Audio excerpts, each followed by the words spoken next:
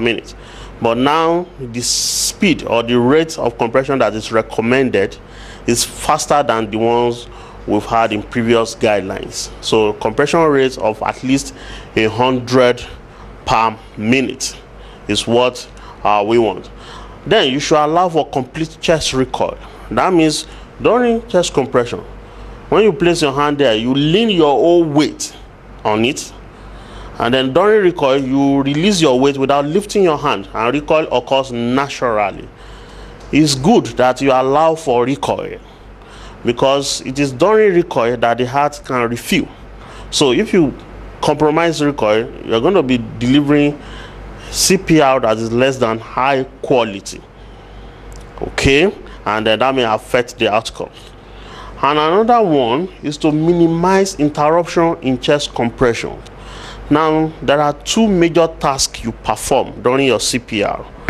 The first task is your chest compressions. The second task is your ventilation. Now, that's what we call compression ventilation ratio. That means how many compressions do you want to give before you pause to give how many breath or how many ventilation. Okay. Now, for an adult patient, for example, we'll still talk about compression ventilation ratio shortly. But when you've delivered your set of 30 compressions and then you are waiting to deliver your set of two breaths now the time interval between the 38th compression of the last cycle and the first compression of the new cycle after you've given two breaths that is regarded as interruption. So how long should it be? It must be less than 10 seconds. I will explain uh, a little while why that has to be so. But try and minimize interruption to less than 10 seconds during CPR okay? And then avoid excessive ventilation during your CPR now those are the quality criteria. Now why do we have to minimize interruption to less than 10 seconds? Now as you can see in this diagram this is representing a set of 30 compressions, two breaths. 30 compressions, two breaths.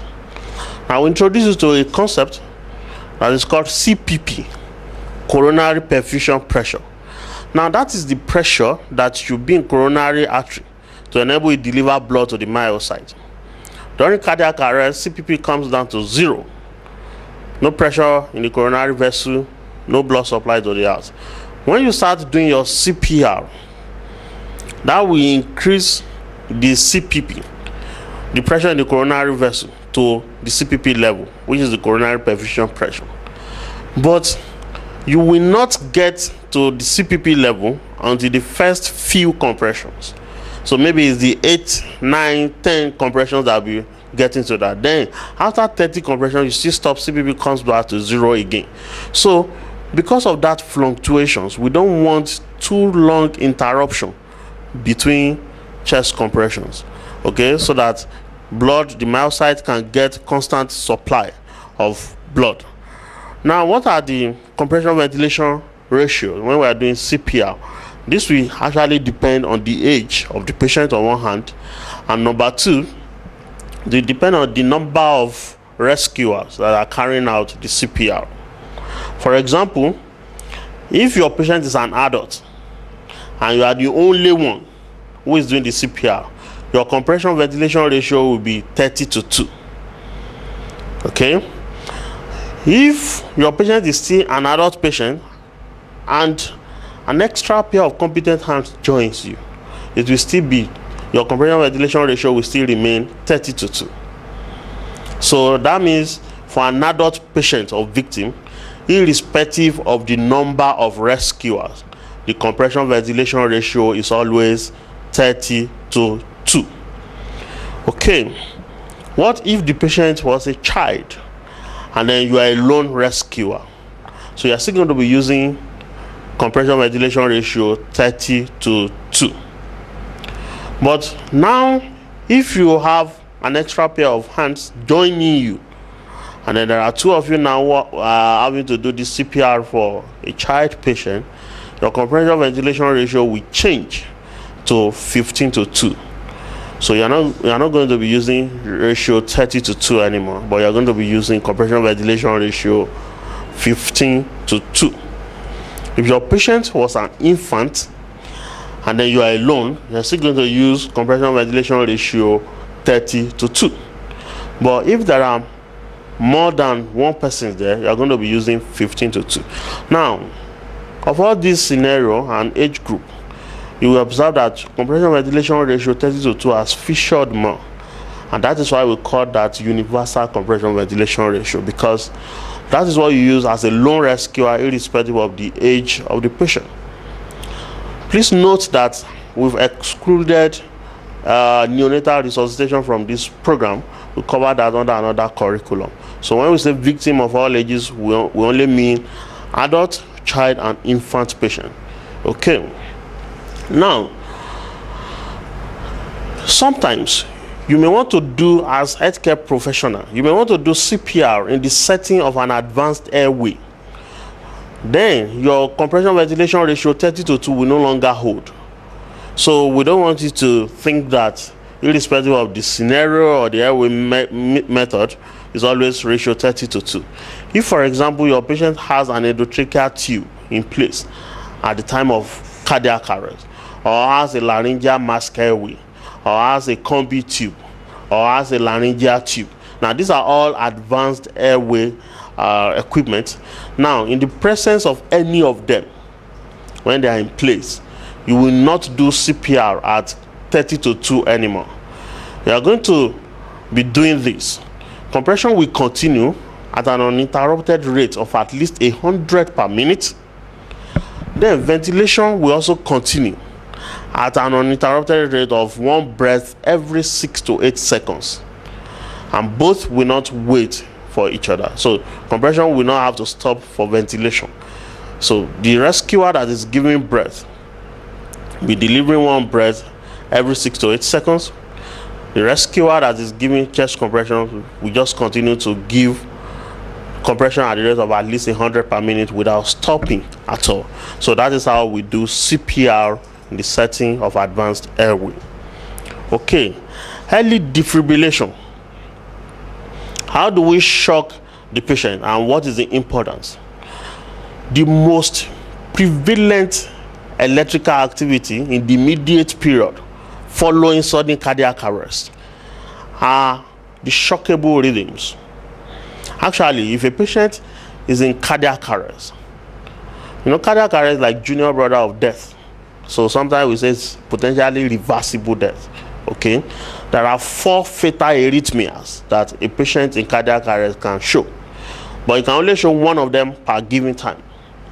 The four are number one, ventricular fibrillation, number two, pulseless ventricular tachycardia, number three, pulseless electrical activity, and number four, asystole.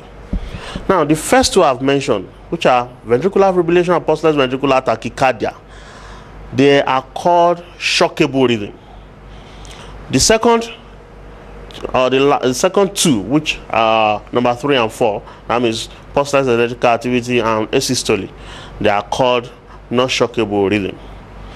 The beautiful thing God has done is that in the immediate period following cardiac arrest, the most prevalent arrhythmias are ventricular fibrillation and pulseless ventricular tachycardia. Both of them are uh, shockable. Okay, but again, the chance of successful defibrillation will wane rapidly with the passage of time. So that means that we can have a patient starting with ventricular fibrillation now.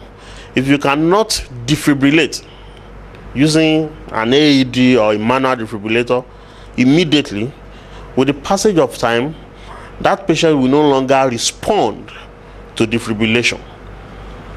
Okay, so time again is muscle here. We cannot overemphasize that. Now, for patients who may have ventricular fibrillation cardiac arrest, three important phases have been identified to show the trend or to show the way they behave before they eventually decay into asystole, which is not shockable. So, in the immediate period of the cardiac arrest, the VF cardiac arrest, that means ventricular fibrillation cardiac arrest, what you have is what we call the electrical phase of the cardiac arrest. Now, in the electrical phase, a patient that is having VF in the electrical phase will respond well to electric shock because at that time there's still a lot of energy ATPase in the myocyte. At that time, the damage to the myocyte is very, very minimal. Okay, now if you pass that stage without shocking that patient, the patient will move to the second phase. The second phase, which is called the hemodynamic phase. Now, at hemodynamic phase, we have more extensive damage to the myocyte. Okay, and the chance of successful defibrillation is not as high as you will have had in the electrical phase. The last phase is the metabolic phase, which is the third phase. Now, here there is extensive damage and destruction of the myocyte, and then there is also massive depletion of the uh, ATP storage. Now, if you shock a patient at this stage, the patient may never come back to life again. Okay, because at that point, the patient may now have what we call fine VF. Ventricular fibrillation can be divided into two depending on the size of the amplitude. We have coarse, we have fine. Now, the coarse one is what you have in the uh, earlier phase, but in the later phase, now the metabolic phase, it probably will have become the fine ventricular fibrillation. Now, this is very similar to asystole. What will simply happen is that once you de defibrillate the patient at this phase, the patient will go into silence, but because there is no ATP, ATP anymore, there is no energy to restart the heart from any of the myocytes. So it's going to be silent now and uh, forevermore. Okay, so this graph is trying to show us the chance of survival from sudden cardiac arrest in ventricular fibrillation. Now, what we have here is that the chance of successful defibrillation wanes by 10% with the passage of every minute. So what we mean is this: if we have a patient that is having ventricular fibrillation and you shock him in the first minute of it, you will have close to 100% of them coming back to life. If you wait until the second minute, you will have like 80% of them coming back to life.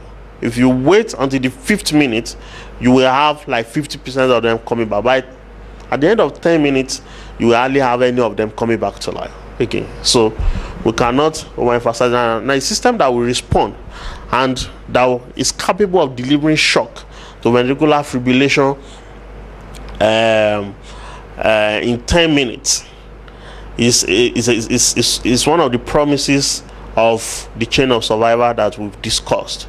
Okay, now in that graph, in this same graph that we've seen, what if somebody has been around providing chest compression for this patient? Are we going to have any difference in this? Yes. So chest compression keeps sending more blood to the heart so that there can be enough energy supplied to the myocyte and that is going to preserve the shockability of the shockable rhythm. So what we mean is this, let's illustrate it more practically. If we have two patients, let's say patient A and patient B, and then both of them have cardiac arrest, sudden cardiac arrest, and the rhythm the, the two of them have to start with is ventricular fibrillation, shockable rhythm. And we sent for AED for the two of them. But patient A was lucky enough to have somebody who started doing chest compression from the moment he collapsed. There was nobody to provide chest compression for patient B, but the AED for the two of them arrives at the fifth minute. Now, for patient B, who has not received chest compression from the time of collapse, the chance of success, successful defibrillating him will now be 50% because we've shown that the chance declines by 10% with the passage of every minute in the absence of bystander CPR. But for patient A who has been receiving bystander CPR, the chance of successful uh, defibrillation will not have waned that rapidly. The decline in, in defibrillation